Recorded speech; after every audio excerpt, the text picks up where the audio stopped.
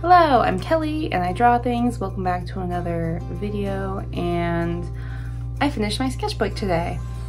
I thought I finished it last night because I live streamed to do the last three pages, which was really fun. I'm definitely gonna do that again. It was on TikTok. But I was flipping through and I found a blank page in the middle. So I finished it now. I did some sketches for a comic I'm gonna do later today. But I thought I would do a sketchbook tour and show you what's inside. All right, so let us begin. If you hear some kind of rough sounds in the background, it's either my deep freeze or my cat purring on my lap, one of the two. But this is my sketchbook. I always put lots of stickers on the outsides of my sketchbooks, and this was no exception. It's been a long time since I started a new sketchbook, so I had a lot of options.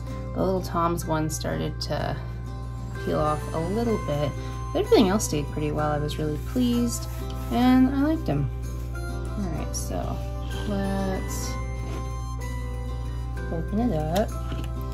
So it started August 14th, 2022. Uh, I skipped the first page, always, and I put my contact info in case it's lost. It can get back to me if a nice person finds it. And then I just jumped right in. So here we are, spread number one. And this is kind of faked perspective. It is not right, I just drew it freehand. Um, there is no grid, as you can see this building kind of twists in space. But I really like all the little details I put in there. So I have like a snail and a worm, and here's a cat, and I love the bee and the buzz all the way through. I think that's something I'd like to incorporate into my comics perhaps. But then I have like little bike people, here's the little awning and trash can. So this is really fun. I like doing that. This is fan art of Breath of the Wild. I was playing through a little bit.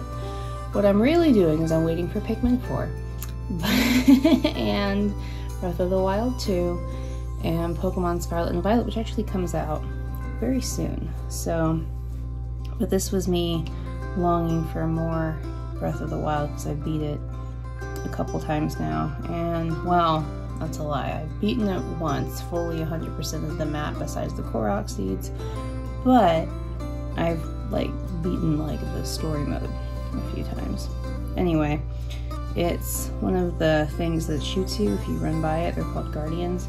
And he's like, oh shit, and he's running away. This, I was trying to figure out the layout of a museum and a story I'm working on. And then I was listing out cryptids that I was going to research. This was going to be the logo for the museum in the story. And then I was just kind of drawing through whatever was on my Pinterest. I was not feeling super inspired. So I drew a whale shark that I do not like. Um, I like the cat and the pumpkins and stuff. That's pretty nice. And then some little like witchy Halloween stuff because Halloween was coming up. Oh, also, sorry to backtrack. At this rate, I figured out the first page was three, four times as thick as anything else in the sketchbook. And everything else was so thin, it was showing through. And I discovered that in this very uh, distraught TikTok video.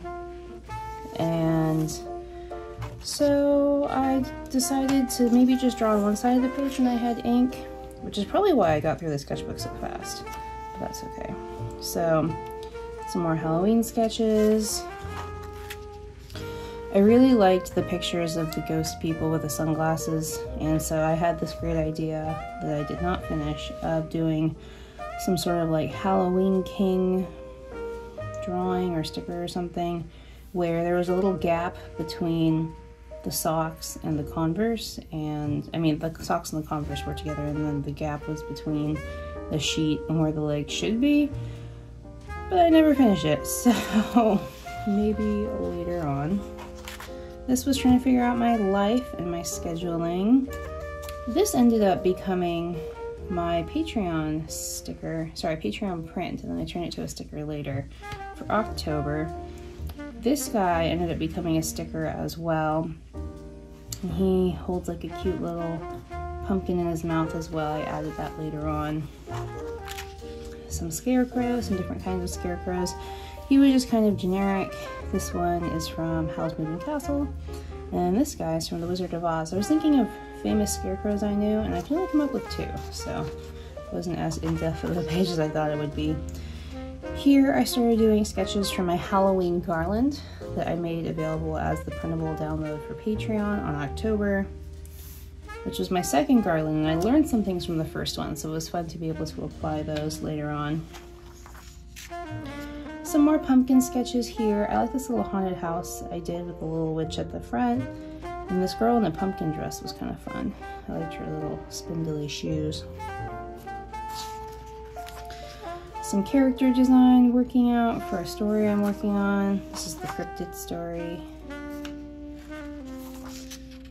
This is the original Inktober, and I said not to do it because I didn't like them very much. This is probably hard to see because I did it in metallic pen. I'll try to shimmer it maybe. But this is some cat sketches. One with the wizard hat. There's also a sandwich. I'm not really sure why, but you know, when in doubt, have a sandwich. This is a sketch I did of Bluey and Bingo from Bluey, which is a children's cartoon that airs on Disney Plus through Disney Junior. Um, some skulls that I did not enjoy. Here we go. So then instead of Inktober, I decided to do Peachtober, which I failed at uh, to get a video on, but I got through 16. And so I did some thumbnails for the prompts and then I pivoted, I'll talk about that. So these are some thumbnails for Cave, Dandelion, cowboy, tiger. Uh, my list of things to do for my convention stuff. I think that was for Savannah Comic Con. Um, some more sketches for Bo, and I really like how that one turned out. And the little T, I like her hair on that one too. Number six was trees, which I do like a lot of anyway, but coming back, I, I like a few of these. I might pull these out for later drawings. Number seven was Potion, which ended up being really close to this one, and I like doing all the little studies around it. That was fun. Eight I thought was Match, but then it ended up being Mask because I read the wrong prompt list. That's why the other Inktober was X'd out because I started going off that one by accident. So I did match, and it was lighting pumpkins on the porch uh, for jack-o'-lanterns on Halloween. And the mask ended up being like on your face. This is Boulder, and I thought of Donkey, Shrek. You know, that's a nice Boulder. And then I thought of some like Zen stuff. Lantern was this really interesting like Red Riding Hood spirally lighting thing. And then, I don't know what that is. Um, looks like things I needed to do. Oh, cool. So, this was a request for Patreon. I actually did a whole video on that too, and I talked about some Patreon tips and tricks that I learned along the way. In the past little bit, I've had my Patreon, and this turned out, it was very nice. It made me feel really good about what I was doing. And so I ended up using this inspiration for all of my Inktober actually, but it's a lot of mixed media. In that video that I did, it shows you the whole process. You can see what mar markers I used and stuff, but it was fun. This was my sketchbook um, entry for the art club for adventure. And I liked it because he is eating a sandwich, but he's a little unsure about this bird who really wants his sandwich. Uh, but I always like floating islands. And this was using a Posca marker for the whole background, but leaving a lot of this chatter, which means like it wasn't filled in 100%. And I really liked how that turned out. I ended up taking it into Photoshop and like making it a solid color, but I thought it was cool. And here we started Inktober. So the first one was Cave dandelion, cowboy, tiger. Later there's a tail prompt. I wish I'd saved that idea, but that's okay. That's what I get for not working ahead, I guess. Oh, and then bow, I did some thumbnails and I switched it from a hair bow to like bow and arrow. I like that one a lot. That was one of my favorites. Tree, potions, some more brainstorming. I did mask. They're, raccoons. I was using all of them, right? And all of them had the raccoons in them. And I was like, we already has a mask, so maybe it'd be funny if he found one anyway. Zen, definitely Naruto sage mode inspired um, pose and the birds there. But this ended up being the inspiration for my free background in my shop for November. Lantern. Um, I don't remember what that one is. What was it? Let's let's look back at the the list. Oh, field. Okay. I really like this texture I did. I did it on a previous sticker of kind of a fancy looking cat, which we then named Duke Von Meow Meow. But I like doing this kind of darker color and then this light hatching on top of it. I thought that was a nice technique, so I used it again here. And then was lava was the 12th prompt, and I had no idea what I was doing, but I ended up going like school lava, and that was fun. One of the raccoons is always like causing trouble unintentionally, so that fit. Tail was this one, which it could have been any of them really, because they all have tails, but I put him playing a Game Boy Color. This was Town. This ended up being kind of a practice run for my November Patreon print. I had done a thumbnail in a previous sketchbook. If you go back and watch the previous sketchbook tours in there, I believe. And then I was like, oh, I'm going to do a practice round. And I like this one quite a bit. I do like the one I made, but I do like this gap with the clothes and the fence. I think including that and the November print would have been wise, but I'll just have to remember that for next time.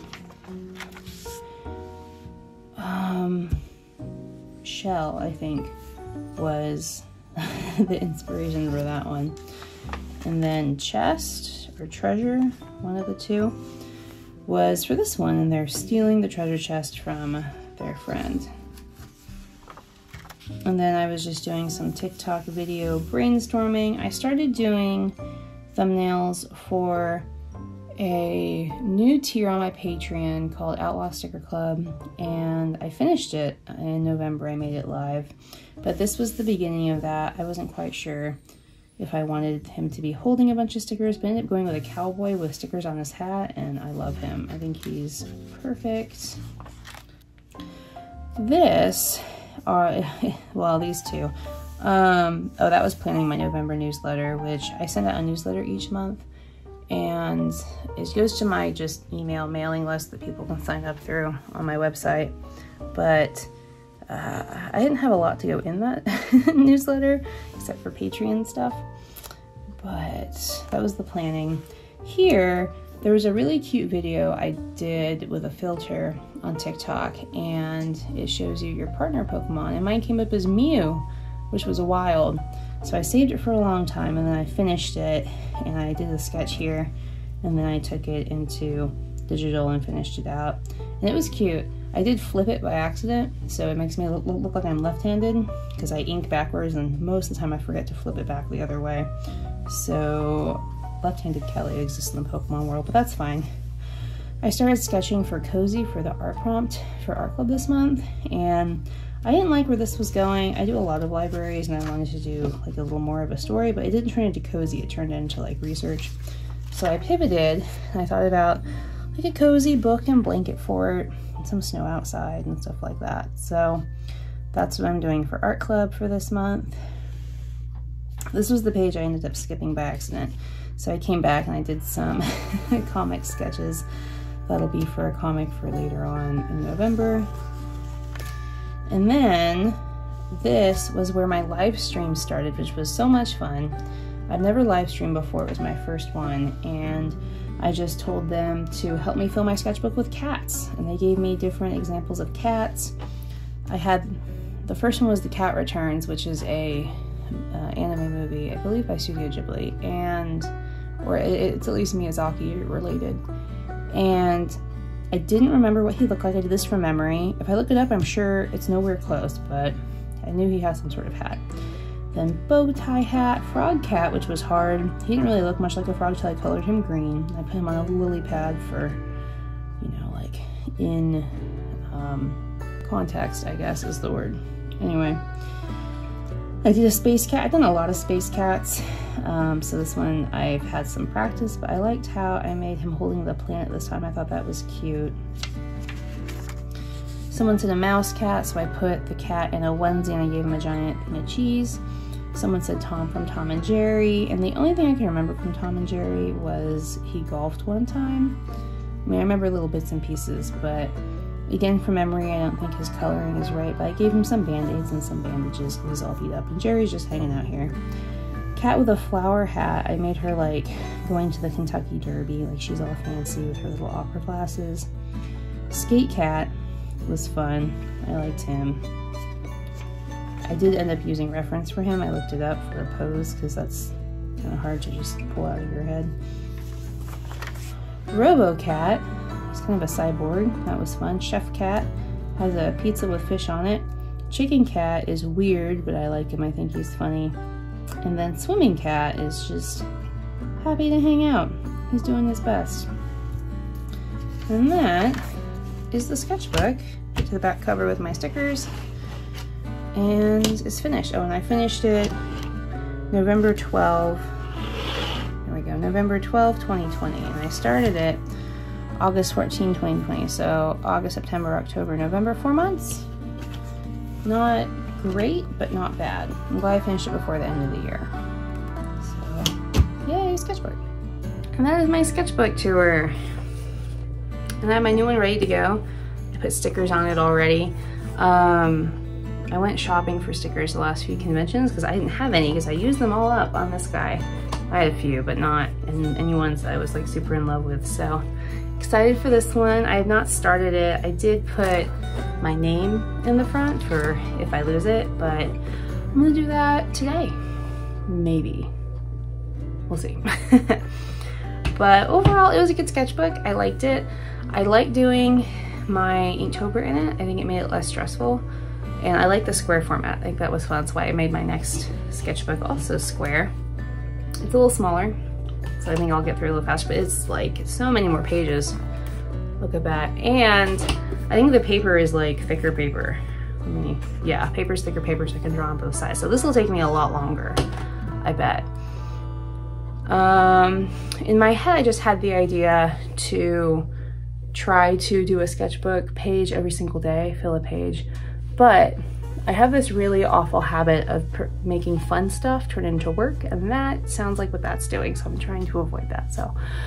We'll see. I did like going live at the end of that last sketchbook. That was really fun so I think I'll do it again for this one. Maybe not in the same like format but definitely some like community interaction. That was really fun. Maybe I'll do some Pokemon from the new game when it comes out. That'll be good. And yeah, so thank you for watching. Thank you for my patrons for supporting me and being able to help me create these videos. You're awesome. And um, yeah, I hope you enjoyed it. If you made it to the end of this video, you like something, so you might as well subscribe while you're here. uh, I do have a big backlog of videos on Patreon. Patreon videos are patron exclusive for six months and then they become public. And then I'm playing around with the idea of making some public videos in real time, but we'll see how much time I have at the end of the year. Holiday seasons are busy. But thanks and have a good day. Uh, make good choices. Bye.